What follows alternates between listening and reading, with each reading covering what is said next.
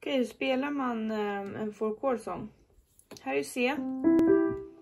Lägger, eh, visar båda händerna direkt nu. Vänsterhanden placerar du tummen på tonen C. De andra händerna, eller fingrarna bara på varje tangent. Så här blir det. Den ska aldrig flyttas, den ska vara så hela låten. Den här handen lägger också en tangent på varje ton. Fast tummen på C där också. Alla har så här. Sen trycker ni vartannat finger.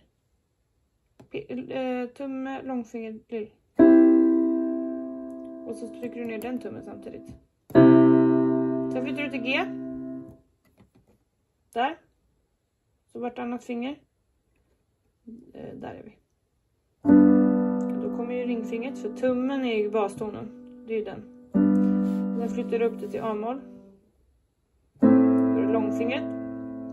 Och så lillfingret ska spela nästa. Flyttar ner det dit. Början, upp till tummen. Och då är lillfingret är redan på tummen nu. Tittar du på den kan du flytta hela handen dit bara. Hela blir så här då. En, två, tre, fyra.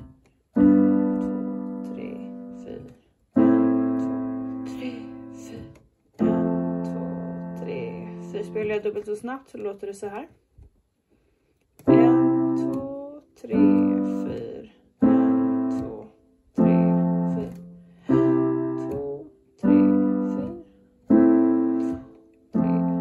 Du Jag kan även välja att ha ett snabbare tempo. Fast ändå köra en på varje. Så här, en, två, tre, fyra. En, två, tre, fyra.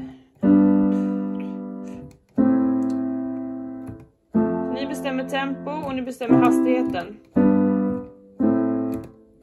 Men så här flyttar man i alla fall. Och ni måste ha den här fingersättningen. Okej? Okay?